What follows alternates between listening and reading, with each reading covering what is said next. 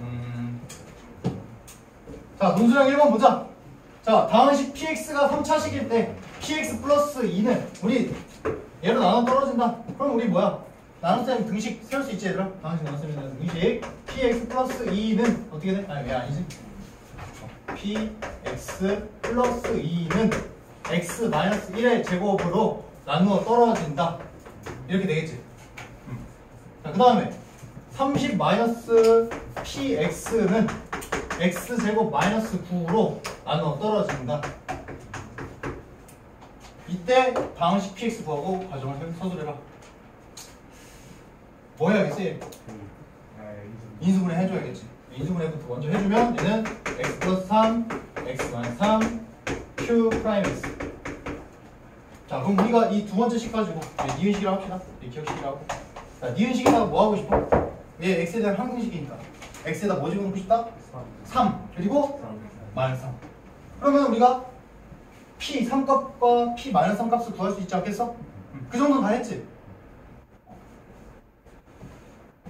계산을 조금 생략해도 되나? 괜찮지? 네. 집어넣어 천천히. 30 마이너스 p 마이너스 3은 얼마? 0이잖아 어차피. 그지? 그럼 p 마이너스 3은 얼마? 30. 그 다음에 x에다가 3 집어넣으면 30 마이너스 p 3은 얼마? 에? 30? 0이지? 그지? p 3은 30.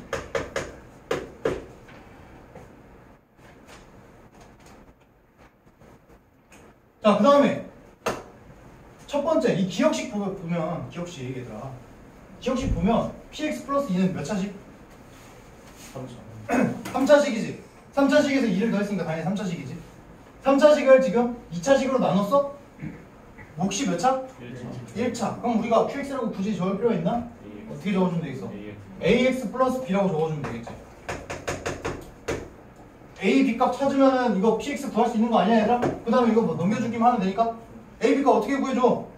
이거 두 개 가지고 대입해가지고 구하는 거지 이거 어려운 문제야 얘들아 그냥 조금만 노가다 하면 되는 거 아닌가? 조금만 살짝의 노가다? 자 여기다가 x에다 3또 집어넣게 돼 이번엔 기억식에다 넣을까? 기억식 얘는 이유식에다 넣은 거고. 자, 기억식에다가 x에다가 3 넣어주면 p3 플러스 2는 p3 플러스 2는 여기 3 넣어주면 여기 2의 제곱이니까 4 4 곱하기 3a 플러스 b. 이런 식으로 표현이 되고 p3이 얼마야 얘들아? 30이고 p3이 30이니까 여기 30 넣어주면 여기 32가 되고 양변 4로 나눠주면 8이 되겠다. 3a 플러스 b가 8이다. 그 다음에 x에다가 마이너스 3 집어넣으면 p 마이너스 3 플러스 2는 마이너스 3 집어넣으면 마이너스 4의 제곱이니까 16 16 곱하기 마이너스 3a 플러스 b. P 마이너스 3도 역시나 30이니까 여기 32니까 양변 16 나눠주면 2가 된다 뭐가? 마이너스 3a 플러스 b가 2가 된다 둘을 뭐 해주면 된다?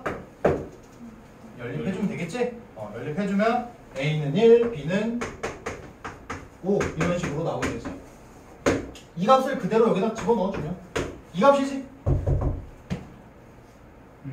여기서 이제 뭐만 해주면 돼? 열심히 전개해서 얘 넘겨주고 얘 넘겨주고 열심히 이거 전개만 해주면 끝나지 되니? 그렇게 해서 답은 답지 보면 돼 얘들아 알겠지? 사실 선생님 봤을 때는 이렇게만 썼어도 답으로 맞다고 해야 되지 않나? 라는 생각을 하는데 아무튼 뭐 답에는 다 전개가 되어 있지 어. 내 생각에 이렇게만 적었어도 최소 5점은 받잖아 수업부터 전개해야 돼. 전개해야 되느냐? 전개합시다 그냥 어, 안전하게 어, 전개합시다. 근데 그 마지막에 합시다. 마지막에 와서. 알겠지? 어. 여기 뭐 별표 정도 해놓고 전개할 것 이런 식으로 쓰고 넘어가면 되잖아. 솔직히 이 정도만 해도 거의 한 6점 중에 5점은 맞을 거란 말이야. 자 그 다음에 논술형 2번 가자 얘들아. 마지막 문제네 마지막 문제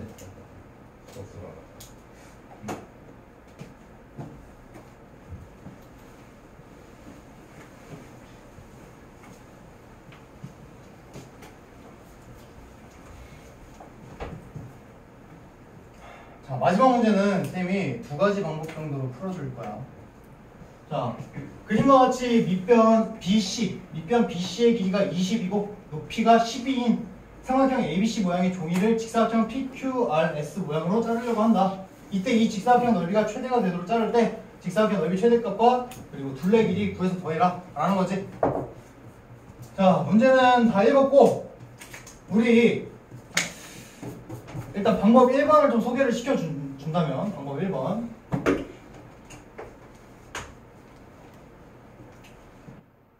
지금 우리가 이 직사각형 넓이의 최대값을 구해줘야 돼.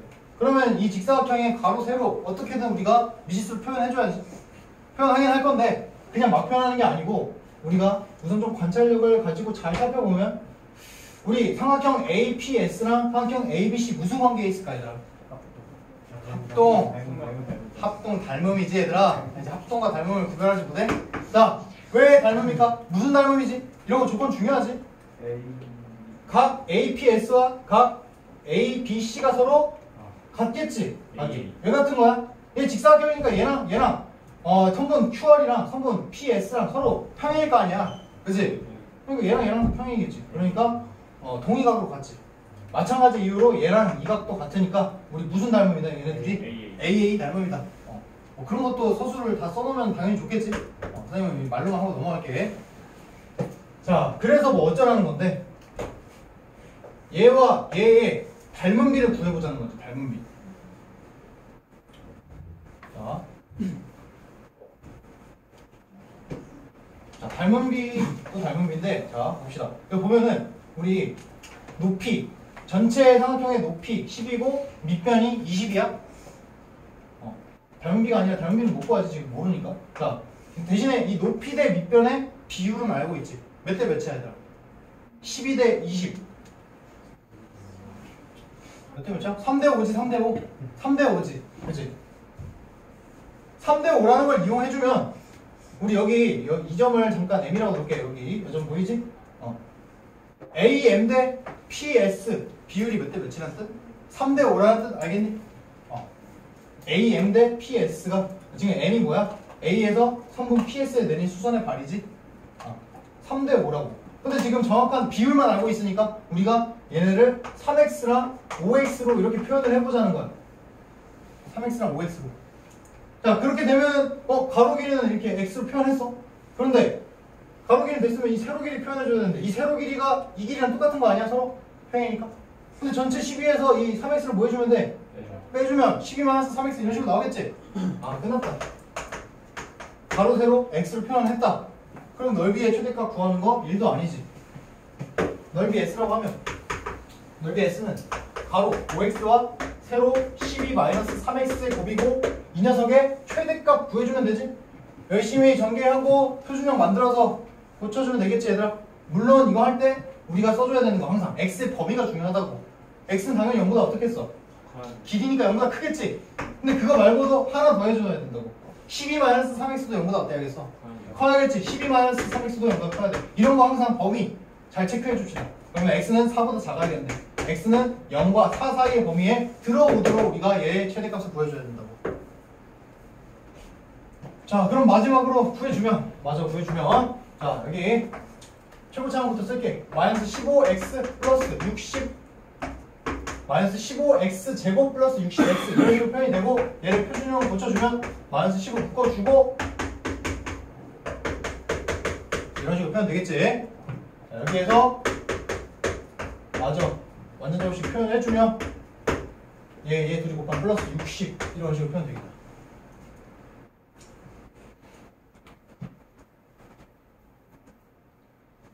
자, 여기에서 우리 추계 방정식 지금 보면 위로 블록이지 위로 블록이고 추계 방정식 어떻게 돼? x는 2지 x는 2인데 지금 보면은 0과 4 사이 0과 4 사이에 들어오겠지 지금 보면 대충만 그려도 알지 그지? 어. 그러면 최대값은 얼마라는 거 알 수 있어? 60이라는 거 알 수 있지 얘들아 x값이 2일 때 이 최대값은 60이 된다 이 최대값 근데 small m이라고 표현했네 이 small m이 바로 60이 되겠지 왜? 이 녀석이 바로 지금 넓이니까 넓이 최대값이 60이라는 뜻이지 함수값이 지금 넓이잖아 자, 이 값은 60이라고 찾았고 그때 둘레의 길이 n은 어떻게 찾아주면 되겠어? x값이 2일 때지? x 얘들아 x값이 2일 때 이 직사각형이 넓이 최대값을 가지니까 이 2를 넣어주면 되는데 이 둘레, 둘레를 L이라고 할게 L L은 어떻게 구해? 가로와 세로를 더한 다음에 곱하기 2를 해주면 되지? 어. 그러니까 어떻게 써주면 돼? 12-3x와 5x를 더해준 후에 곱하기 2를 해주면 그 값이 바로 어, 둘레의 길이가 되겠지. 이거 그냥 n이라고 하면 되겠네 굳이. L 쓰지 말고. n이라고 하니까. 자 얘네들 계산하면 여기 2x 플러스 2x고 다 전개해주면 4x 플러스 24인데 x값이 2니까 2니까 8 32 이런 식으로 나오겠네 32 음, 됐지? N이 32고 m이 60이니까 정답은 92가 된다는 것을 있겠다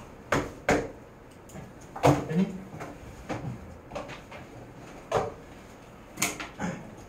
이 닮음을 이용해서 밑변과 높이의 비율을 이용해서 푼 문제야.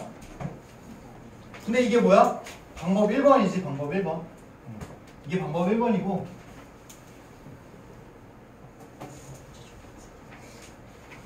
자, 방법 1번은 지울게, 얘들아. 근데 사실 방법 1번이 더 간단해.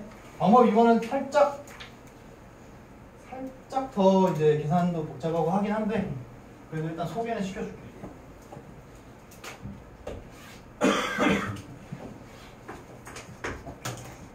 자, 방법 2번의 경우 지금 이 문제를 잘 봐야 돼. 문제 잘 보면은 밑변 BC의 길이가 20이고 높이가 10이다. 그거 왜 지금 삼각형 ABC에 대한 정보 나와 있어 안 나와 있어? 하나 하나도 안 나와 있지. 그러면은 이 A에서부터 이 찍은 게 어? 이 점에서부터 C점까지, 이 점에서부터 B점까지 거리 이런 거 알아 몰라? 모르지. 어. 그러면은 이 여기 문제에서 그려진 이 그림은 그냥 그림일 뿐이야. 우리가 문제만 제대로 읽는다면 아 그냥 밑변 BC 10, 20이고 높이가 12인 삼각형? 어? 그거 그냥 아무거나 그리면 되는 거 아닌가? 굳이 이렇게 이런 식으로 생겨줘야 되나? 굳이? 그지? 이거 그림은 그냥 약간 뭐랄까 너희한테 이 생각을 좀 강요하는 이런 그림이지. 그렇기 때문에 우리가 그림을 살짝 변형해 주는 거야. 어떻게? 이등변 삼각형을 만들어 버리면 우리가 쉽지. 이등변 삼각형. 아 밑변 20이고 높이 10이기만 하면 되잖아. ABC 찍고. 왜 이렇게 만들어줄까? 좌표에 갖다 올리기 쉽게 만들어주는 거. 좌표 올리기 갖다 쉽게. 그지? 왜냐면은 지금 좌표를 이 점을 원점으로 해서 좌표를 그리면은 우리가 이 선분 AC에 대한 이 직선의 방식을 구하기가 어려워. 어.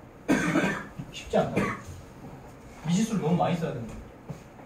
이렇게 이등변으로 만들어 버리면 우리가 좌표상의 구기가 너무 간단해진다.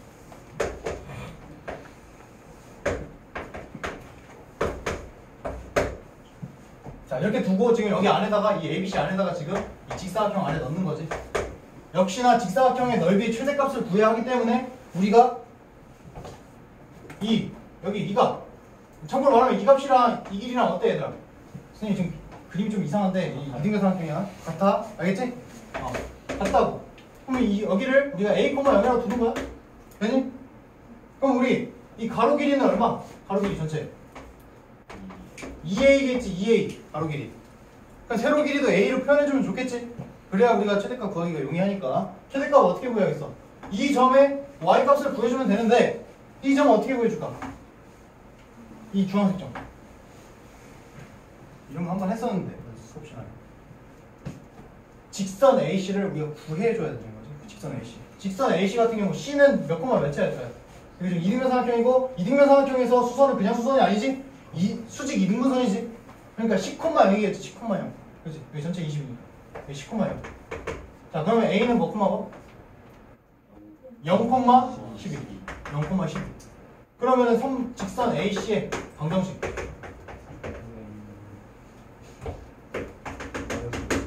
어떻게 돼? y는 x. 이거 10에서 0 빼고 알고 있지 이거 기울기 잘 모르나? 기울기 어떻게 구하지 그러면 다들? 어, x 증가량보다 y 증가량 알고 있지? 그치? 오케이 됐어 x 얼마큼 증가했어?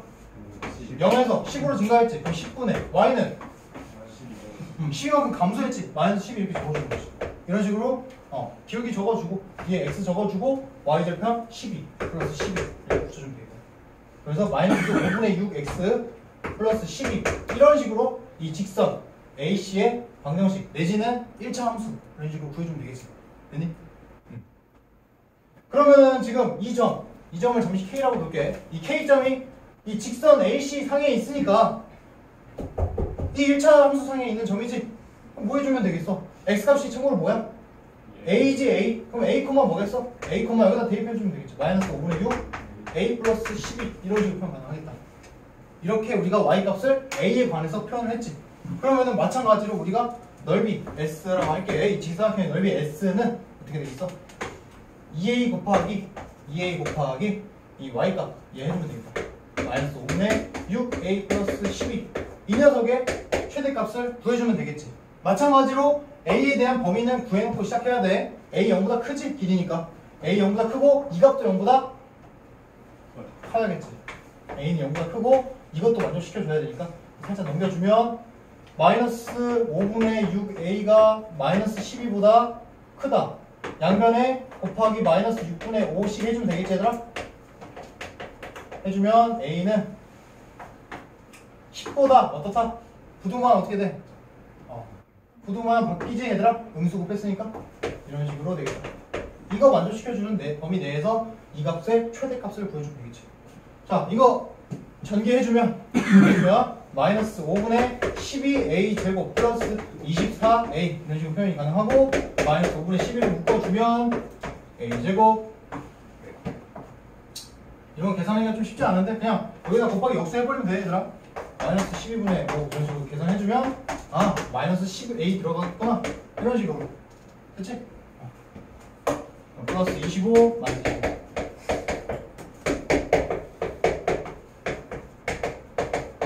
얘네 둘이 곱해주면 플러스 60 이런 식으로 나오지 그래서 얘도 그려보면 추계 방정식 A는 5가 되고 지금 A 값은 0과 10 사이에 있기 때문에 뭐 어쨌든 안에 들어오지. 이 값에 A 값이 5일 때 A 값이 5일 때 넓이의 최대값 얼마? 60을 갖게 되겠지. 음, 여기 small m이라고 돼 있으니까 이렇게 쓴 거예요. 자, 그 다음에 m은 60이 되고 그 다음에 n 값은 어떻게 구해주면 돼? a에다 5 집어넣어서 a에다 5 집어넣어서 여기 다 둘레 길이 구해주면 되겠지? 어, 5 집어넣어 보면 알겠지만 가로 길이 10이 나오거든 얘들아 n은 음. 가로 길이 10 가로 길이 10에다가 세로 길이는 여기다 5 집어넣어주면 6이 나오거든 6 거기다 곱하기 2 해주면 되겠지 가로 더하기 세로 곱하기 2 계산해주면 똑같이 32 이런 식으로 나오게 되겠다 둘이 더해주면은 90이라는 값이 1번 방식이랑 똑같이 나오게 되겠지. 이해되니 다들? 1번처럼 그렇게 닮음을 발견할 수 있으면 그렇게 풀면 되고 닮음이 안 보여. 안 보이면 이렇게 풀면 되겠다. 알겠니? 어. 물론 이 방식도 쉽지는 않지. 갑자기 문제 이 그림이 이렇게 딱 주어졌는데 야 이거 그것도 학교에서 낸 건데 출제자 이렇게 낸 건데 이거를 이렇게 변형한다는 게 솔직히 쉬운 생각은 아니지. 그치? 하지만 문제만 똑바로 읽어보면 이렇게 그려도 전혀 상관없다는 것을 있겠다. 알겠니? 어, 일단 여기까지 해서 풀이 마칠게. 표정보. 우리 지금 5시 42분 정도 됐는데 얘들아 6시 45분까지 저녁 시간은 좀 가, 가집시다. 6시 45분.